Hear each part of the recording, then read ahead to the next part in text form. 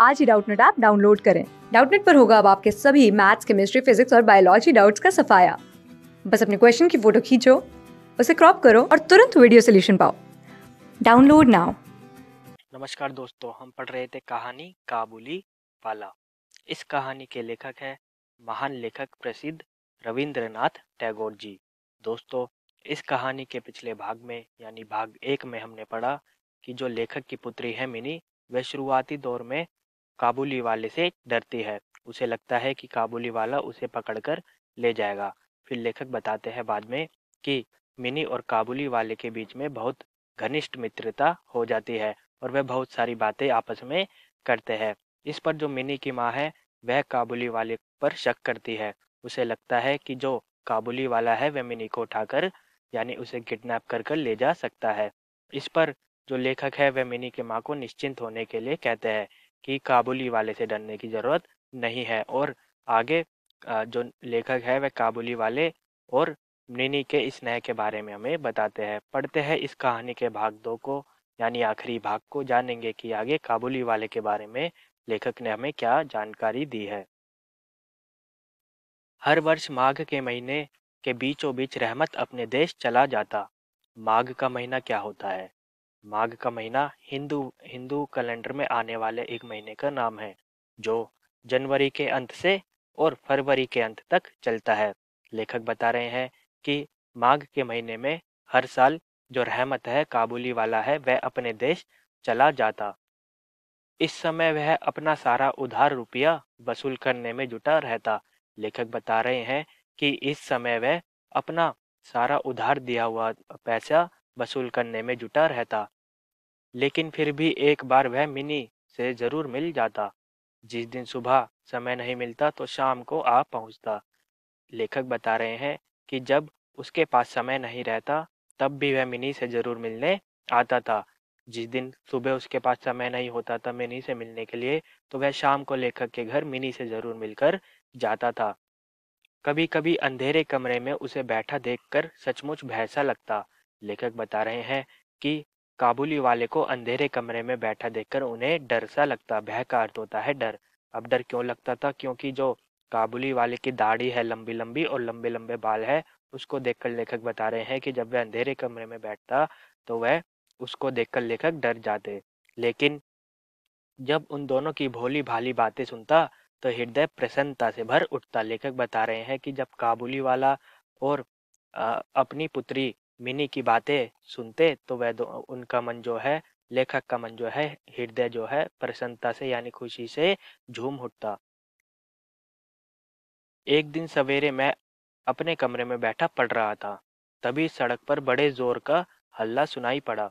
लेखक एक दिन की बात बता रहे हैं, एक दिन उनके साथ क्या हुआ? एक दिन वह सवेरे अपने कमरे में बैठे थे और पढ़ाई कर रहे थे, तभी सड़क पर उन्हें जो, बड़े ज़ोर की शोर सुनाई देता है। हल्ला सुनाई देता है। आँख उठाई तो देखा दो पहरे वाले अपने रहमत को बांधे लिए आ रहे हैं। उन्होंने आँख उठाई सड़क की ओर देखा तो उन्होंने क्या देखा? जो पहरे वाले हैं, पुलिस वाले हैं, वे अपने रहमत यानी काबुली वाले को बांधे लिए आ रहे हैं। अब वह पुलिस वाले उसको बाँध कर क्यों ले जा रहे हैं? आइए देखें। उसके पीछे तमाशवीन लड़कों की टोली चली आ रही है। अब उसके पीछे यानी दो पहरे दो पह, दो पुलिस वाले और रहमत के पीछे जो तमाशबिन लड़के होते हैं मोहल्ले के गली मोहल्ले के वे हल्ला मचाते हुए चले आ रहे हैं। रहमत के शरीर और कपड़ों पर खून के दाग है। एक पहरे वाले के हाथ में खून से सना छुरा है। मैंने बाहर आकर पहरे वालों को रोककर पूछा मामला क्या है? लेखक बता रहे हैं कि किस प्रकार पुलिस वाले उसको यानी रहमत को पकड़ के ले जा रहे हैं और उन सभी के पीछे और जो तमाशबिन लड़के हैं, तमाशा करने वाले, हल्ला मचाने वाले लड़के हैं, वे हल्ला मचाते हुए चले जा रहे हैं। और वह देखते हैं कि रहमत के शरीर और कपड़ों पर खून के धब्बे लगे हुए हैं, दाग लगे हुए हैं। और वह उन्होंने देखा कि एक पुलिस वाले के हाथ में क्या है, खून से सना हुआ एक चाकू है, छूरा का अर्थ होता है चाकू। तभी पुलिस वाले पुलिस वाले से लेखक पूछते हैं कि मामला क्या है? आखिर आखिर काबुली वाले को पुलिस वाले क्यों पकड़कर ले जा रहे हैं? ये बातें लेखक ने पुलिस वाले से पूछी। मालूम हुआ, यानी पुलिस वाले से पता चला कि हमारे एक पड़ोसी ने रामपुरी चादर के लिए रहमत से कुछ रुपया उधार लिया था। उसने झूठ बोलकर रुपया उधार लिया था तथा रुपया देने से इनकार कर दिया और इसी बात को लेकर कहा सुनी करते करते रहमत ने उसके छुरा भोंक दिया। यहाँ बता रहे हैं कि मामला क्या है। मामला यह था कि एक बार क्या हुआ? एक बार लेखक के पड़ोसी ने रामपुरी चादर के लिए रहमत काबुली वाले से कुछ रुपया उधार लिया था। उसने, यानी, लेखक के पड़ोसी ने वह पैसा झूठ बोल बोलकर काबुली वाले से उधार लिया था और जब रहमत ने उस पैसों को मांगा तो उसने रुपया देने से रहमत को मना कर दिया और दोनों के बीच में फिर लड़ाई हुई कहा सुनी हुई और फिर क्या क्या कहा सुनी करते करते ही रहमत काबुली वाले ने पड़ोसी के पेट में छुरा भोंक दिया यानी उसके पेट में छुरा घुसा दिया चाकू घुसा दिया। इसी कारण जो पुलिस वाले हैं वह रहमत को पकड़ के जेल में ले जा रहे हैं। रहमत उसे जु, उस झूठे आदमी को तरह तरह की गालियाँ दे रहा था। तभी काबुली वाले वो काबुली वाले पुकारती हुई मिनी घर से बाहर निकल आई। रहमत उस झूठे आदमी को यानी लेखक के पड़ोसी को तरह तरह की गालियाँ दे रहा था। तभी क्या होता है? तभी मिनी घर से बाहर आती है और काबुली वाले को देखकर चिल्लाती है और कहती है, काबुली वाले वो काबुली वाले। पलक मारते रहमत का चेहरा आनंद से खिल उठा। उसके कंधे पर आज झोली नहीं थी, इसलिए उसके बारे में कुछ पूछा नहीं जा सकता था। मिनी ने छूटते ही उससे पूछा, तुम ससुराल जाओगे? यानी जैसे ही काबुली वाले ने मिनी की आवाज़ सुनी तो उसका चेहरा खुशी से खिल उठा। आनंद का अर्थ होता है खुशी। उसके कंधे पर झोला नहीं था, क्योंकि उसको पुलिस पकड़ के ले जा रही थी। इसलिए मिनी ने झोले के बारे में कुछ नहीं पूछा। उसने क्या पूछा? उसने पूछा काबुली वाले से कि, तुम ससुराल जाओगे? इस पर काबुली वाला जवाब देता है, रहमत ने हंसकर कहा, वही जा रहा हूँ। यानी ससुराल जा रहा है कौन? काबुली वाला रहमत। मिनी को उसका जवाब हँसी भरा नहीं लगा। अब मिनी तो समझ नहीं पाई कि ससुराल क्या होता है और वह क्यों जा रहा है। इसलिए वह हंसती भी नहीं है। वह हाथ दिखाकर बोला ससुर को मारता, पर क्या करूँ? हाथ बंधे है। वह कहता है मिनी से कि मैं ससुर को घूसा मारता, लेकिन मेरे हाथ में हथकड़ी है, मेरे हाथ बंधे हुए हैं। छुरा मारने के अपराध में रहमत को कई वर्षों की जेल हो गई, यानी वह जेल में कई वर्षों के लिए चला गया रहमत। मैं उसकी बात करीब करीब भूल गया। मिनी भी उसे जल्दी भूल गई, यानी जो रहमत है वह जेल में चला जाता है, और लेखक बताते हैं कि जो मिनी है वह बड़ी हो जाती है और काबुली वाले को भूल जाती है। धीरे धीरे उसके नए मित्र बनते गए। उम्र बढ़ने के साथ साथ एक एक करके सखियाँ जुटने लगी। यहाँ लेखक बता रहे हैं कि धीरे धीरे उसके नए मित्र बने, नए दोस्त बने और उम्र उम्र भी उसकी बढ़ती गई, उसकी आयु बढ़ती गई और एक एक उसकी सहेलियाँ जुटने लगी उसके साथ। मेरे साथ अब वह पहली जैसी बातचीत नहीं करती। लेखक बता रहे हैं कि जो मिनी है, वह बड़ी हो जाती है और थोड़ी थोड़ी समझदार होने लग जाती है। अब वह लेखक के, लेखक से उस तरह के, उस तरह से बात नहीं करती थी, जिस तरह से वह पाँच वर्ष की आयु में किया करती थी। मैंने तो उसके साथ एक प्रकार की कुट्टी कर ली थी, यानी लेखक बता रहे हैं कि एक प्रकार से वह नाराज़गी मिनी से करने लग गए थे। बहुत सुहावनी सुबह थी सुहावनी सुबह थी लेखक एक सुबह के बारे में बता रहे हैं। आज मेरे घर में शहनाई बज उठी थी। लेखक बता रहे हैं कि आज उनके घर में शहनाई बज रही है, यानी उनके घर में कोई कार्यक्रम हो रहा है, वह भी शादी का कार्यक्रम हो रहा है। आइए जाने किसकी शादी लेखक के घर में हो रही है। उसके स्वर मेरे हृदय को अंदर से रुला रहे थे, यानी किसी के स्वर जो लेखक के लेखक के हृदय को, लेखक के मन को रुला रहे थे, वो भी अंदर से।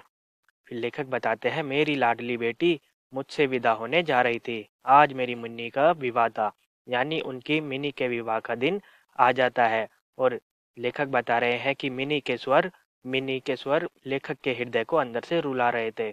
लेखक बताते हैं कि उनकी लाडली बेटी का आज आज शादी थी। सवेरे से ही विवाह की तैयारियाँ हो रही थी। मैं बाहर के कमरे में बैठा हिसाब देख रहा था, तभी रहमत आकर सलाम करके खड़ा हो गया। सवेरे से ही, सुबह से ही शादी की तैयारियाँ हो रही थी। जो लेखक है वह कमरे में बैठकर हिसाब किताब देख रहे थे शादी का। तभी क्या होता है? तभी जो है, काबुली वाला रहमत है, वह खड़ा हो जाता है लेखक के सामने और उन्हें सलाम करता है, यानी नमस्ते करता है। मैं पहले उसे पहचान नहीं सका। लेखक बता रहे हैं कि पहले उस रहमत को वह पहचान नहीं सके थे।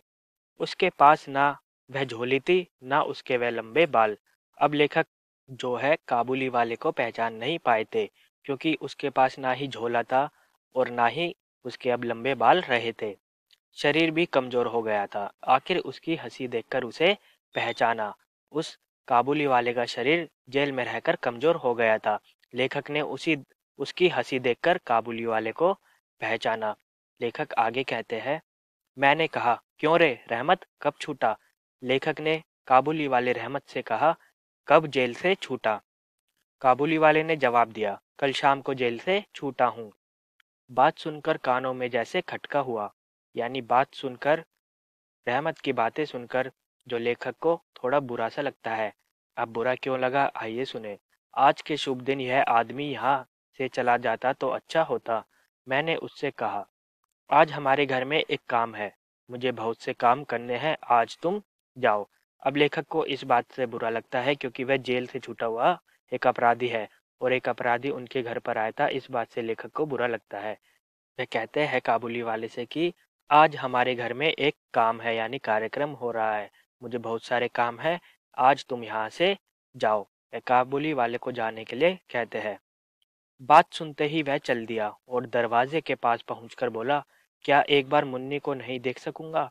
बात सुनते ही वह जो रहमत है वह वहाँ से चला जाता है और दरवाजे के पास पहुंचकर वह लेखक से पूछता है बोलता है कि क्या एक बार वह मुन्नी को यानी मिनी को नहीं देख सकेगा? शायद उसे विश्वास था मिनी अब वै, अब भी वैसी ही होगी। नन्ही सी बच्ची जो पहले की तरह ही काबुली वाले कहती हुई दौड़ी आएगी। बच्चों जैसी हँसी भरे बातें करेगी। अब रहमत जो है काबुली वाला क्या समझ रहा था? उसे ऐसा विश्वास था कि जो मिनी है, वह अब भी छोटी ही होगी और वह अब भी काबुली वाले काबुली वाले कहेगी और काबुली वाले से बच्चों जैसी बातें करेगी, हँसी मज़ाक करेगी। वह पहले की तरह उसके लिए किसी से मांग जांग, चांग कर एक डिब्बा अंगूर और किशमिश बादाम लाया था। वह मिनी के लिए क्या लेकर आया था? एक डिब्बा अंगूर और किशमिश बादाम लेकर आया था। मैंने कहा, यानी लेखक ने रहमत से कहा, आज घर में काम है, वह किसी से मिल नहीं सकेगी। वह उससे कहते हैं कि आज घर में कार्यक्रम है, मिनी है, वह किसी से भी नहीं मिल पाएगी। वह दुखी मन से सलाम बाबू कहकर दरवाजे के बाहर चला गया। अब वह दुखी मन अपना कर कर, करके दरवाजे से बाहर चलने के लिए खड़ा होता है। मुझे अपने मन में ना जाने कैसा एक दर्द महसूस हुआ, सोचा उसे वापस बुलवा लूँ। तभी देखा वह खुद लौटा आ रहा है। लेखक को यूँ रहमत को जाते हुए देखना बुरा लग रहा था। उन्हें लग रहा था कि उन्हें एक दर्द महसूस हो रहा है। उन्होंने सोचा कि क्यों ना वह उस काबुली वाले को वापस बुला ले, लेकिन तभी वह देखते हैं कि काबुली वाला खुद वापस चला आ रहा है। अब वह वापस क्यों आ रहा है, आइए जाने। पास आकर बोला, पास आकर लेखक से बोला ये अंगूर और थोड़े से किशमिश बादाम मुन्नी के लिए लाया था। दे दीजिएगा। वह अपने अंगूर और किशमिश बादाम लेखक को देता है और कहता है कि यह मैं दोनों चीज़ें मुन्नी के लिए लाया था। ये मुन्नी को दे दीजिएगा। उन्हें लेकर जब मैं दाम देने लगा तो वह मेरा हाथ पकड़कर बोला, मुझे पैसा मत दीजिए बाबू। जिस तरह तुम्हारी एक लड़की है, उसी तरह देश में मेरी भी एक लड़की है। मैं उसी का चेहरा याद करके तुम्हारी मुन्नी के लिए थोड़ा, थोड़ी मेवा लेकर आया हूँ सौदा करने नहीं। जब किशमिश और बादाम का और अंगूर का पैसा लेखक देते हैं काबुली वाले को तो काबुली वाला कहता है कि मुझे इसका दाम मत दो। और वह लेखक का हाथ पकड़कर बोलता है कि जिस तरह तुम्हारी एक लड़की है मिनी, उसी तरह देश में, मेरे देश में मेरी भी एक लड़की है। मैं तुम्हारी मिनी में अपनी पुत्री देखता हूँ, इसलिए मैं उसके लिए थोड़ी मेवा लेकर आया हूँ। मैं सौदा करने यहाँ पर नहीं आया हूँ। यह कहते हुए उसने अपने कुर्ते की, कुर्ते में कहीं छाती के पास से मैले कागज़ का एक टुकड़ा निकाला और बहुत सावधानी से उसकी तह खोलकर मेरी टेबल पर बिछा दिया।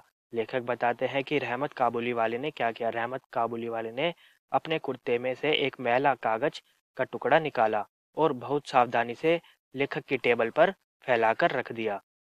देखा कागज़ पर किसी नन्हे हाथ की छाप थी। उस कागज़ पर लेखक ने देखा कि उस कागज़ पर किसी नन्हे बच्चे के हाथों के निशान थे। उस कागज़ पर फ़ोटो नहीं, रंगों से बना चित्र नहीं, प्यारी बिटिया के हाथ में थोड़ी सी कालिख लगाकर कागज़ के ऊपरी उसकी छाप ले ली गई थी। उस कागज़ पर देखा कि उस कागज़ पर फ़ोटो नहीं है, ना ही कोई चित्र बना है। उस कागज़ पर क्या है, किसी प्यारी बिटिया के हाथ पर थोड़ी काग कालिक लगाकर उसकी छाप ले ली गई है। अपनी प्यारी बिटिया के हाथ की इसी यादगार को सीने से लगाए रहमत, कलकत्ता की सड़कों पर मेवा बेचने आता। मानो उस सुंदर कोमल नन्ही बच्चे के हाथ की छुअन भर उसके हृदय में अमृत की धारा बहाती रहती। काबुली वाला अपनी प्यारी बिटिया के इसी हाथ की यादगार को सीने से लगाए कलकत्ता की सड़कों पर मेवे बेचने आता और उसे ऐसा लगता जैसे सुंदर कोमल नन्ही बच्चे के हाथ उसकी छुअन भर हृदय यानी दिल में अमृत की धार, धारा बह रही है। देखकर मेरी आँखें छलछला आई, यानी इस दृश्य को देखकर लेखक रो पड़ते हैं, उनकी आँखों में आँसू आ जाते हैं। उस समय मैंने समझा कि जो वह है, वही मैं हूँ। वह भी पिता है, मैं भी पिता हूँ। लेखक सोचते हैं कि जो इस समय वह भी एक है और मैं भी उसी की जगह पर हूँ। वह भी एक पिता है और मैं भी एक पिता हूँ। मैंने उसी समय मिनी के भीतर, मिनी को भीतर से बुलवाया। अब लेखक ने काबुली वाले को देखने के लिए मिनी को बुलवाते हैं भीतर से। शादी की लाल साड़ी पहने, माथे पर चंदन लगाए, बहु वेश में मिनी लज्जा से मेरे पास आकर खड़ी हो गई। अब मिनी अंदर से आती है लाल साड़ी पहनकर और माथे पर उसके क्या लगा था चंदन और बहू का वेश धारण किए। मिनी शर्म शर्म करते हुए लेखक के पास आकर खड़ी हो जाती है। उसको देखकर काबुली वाला सक पका गया। अब काबुली वाला तो सोचा था कि मिनी छोटी सी होगी, लेकिन वह उस बड़ी मिनी को देखता है, जिसकी आज शादी है, वह उसको देखकर सक पका जाता है। अपनी पुरानी बातचीत नहीं जमा पाया। अंत में हंसकर बोला मुन्नी, तू ससुराल जाएगी? और वह सोचा कि अब मैं पुरानी बातें हँसी मज़ाक की बातें मुन्नी से यानी मिन्नी से नहीं कर सकता। और वह हंसकर बोलता है, मुन्नी, तू ससुराल जाएगी? रहमत का प्रश्न सुनकर लज्जा से लाल होकर मिनी मुँह फेर कर खड़ी हो गई। मुझे काबुली वाले और मिनी की पहली भेंट याद हो आई और मैं कुछ दुखी हो उठा। अब मिनी तो काबुली वाले को कुछ कुछ भूल गई थी। कौन काबुली वाला था यह अब उसे याद नहीं था क्योंकि यह तो बचपन की बातें थी। अब लेखक को यह दृश्य देखकर काबुली वाले और मिन्नी की शुरुआती भेंट की याद आ जाती है जब वह पहली बार मिले थे और वह उन बातों को सोचकर लेखक दुखी हो उठते हैं। मिनी के चले जाने पर गहरी सांस लेकर रहमत ज़मीन पर बैठ गया। अचानक उनकी समझ में साफ़ आ गया। इसी बीच उसकी बेटी भी इसी तरह बड़ी हो गई होगी। अब मिनी के चले जाने पर गहरी सांस लेता है काबुली वाला और ज़मीन पर बैठ जाता है। और अचानक उसे यह समझ में आ जाता है कि मिनी की तरह उसकी बेटी भी आज बड़ी हो गई होगी। इन आठ वर्षों में उस पर क्या बीती होगी? यह भी भला कोई जानता है। उसका चेहरा दुख और चिंता से भर उठा। अब वह कहता है कि इन आठ वर्षों में मैं उसकी पुत्री पर क्या बीती होगी, यह कोई नहीं जानता। और उसका चेहरा इस सोच विचार में दुखी होता है और चिंता से भर उठता है, क्योंकि वह अपने पुत्री के बारे में सोचने लग जाता है। मैंने एक नोट निकालकर उसे देते हुए कहा, रहमत, तुम अपनी लड़की के पास अपने देश लौट जाओ। तुम्हारा मिलन सुख मेरी मिन्नी का कल्याण करे। अब लेखक दुखी होते हैं क्योंकि पिता और पुत्री का मिलन करवाना वह सार्थक समझते हैं। वह रहमत को रुपया देते हैं कुछ अपने देश वापस लौटने के लिए और वह उससे कहते हैं, रहमत, ये लो पैसे और तुम अपनी लड़की के पास अपने देश लौट जाओ। तुम्हारा पिता पुत्री का मिलन मेरी मिनी के लिए कल्याणकारी होगा, यानी सुखदायी होगा भविष्य में। तो दोस्तों, यह थी कहानी काबुली वाला। इस कहानी में लेखक टैगोर जी ने काबुली वाले और मिनी के बीच के स्नेह को प्रस्तुत किया है कि किस प्रकार काबुली वाला अपनी पुत्री को मिनी के रूप में देखता है एवं पूर्ण स्नेह उस पर दिखाता है। लेखक ने यहाँ धर्म की दीवार को भी गिराया है क्योंकि काबुली वाला एक मुसलमान है, जबकि मिनी हिंदू धर्म से संबंधित है। यहाँ धर्म का मतभेद लेखक ने खत्म किया है। हमने जाना कि किस प्रकार मिनी और काबुली वाला आपस में घनिष्ठता के साथ बातें करते हैं। कई बातें करते हैं, मित्रता उनमें हो जाती है। एक बार क्या होता है, एक बार काबुली वाला एक अपराध के कारण जब काबुली वाला जेल में चला जाता है तो वापस आने पर मिनी बहुत बड़ी हो जाती है, उसकी शादी तय हो, शादी वाले दिन वह वापस आता है, एवं अब उसकी शादी हो रही होती है। वह काबुली वाले को सभी, काबुली वाले की सभी बातें को भूल चुकी होती है, और यह बात सुनकर काबुली वाला बहुत दुखी होता है और उसे ऐसा लगता है जैसे उसकी पुत्री विदा हो रही हो और वह मिनी को अपनी पुत्री की तरह स्नेह करने लगता है। यहाँ पिता और पुत्री के स्नेह को लेखक ने दर्शाया है। तो दोस्तों, यह थी कहानी काबुली वाला। धन्यवाद। क्लास सिक्स से ट्वेल्थ से लेके NEET I I T JEE mains और एडवांस के लेवल तक, दस मिलियन से ज़्यादा स्टूडेंट्स का भरोसा। आज ही डाउनलोड करें डाउट नेट आप या व्हाट्सअप कीजिए अपने डाउट्स आठ चार सौ चार सौ चार सौ पर।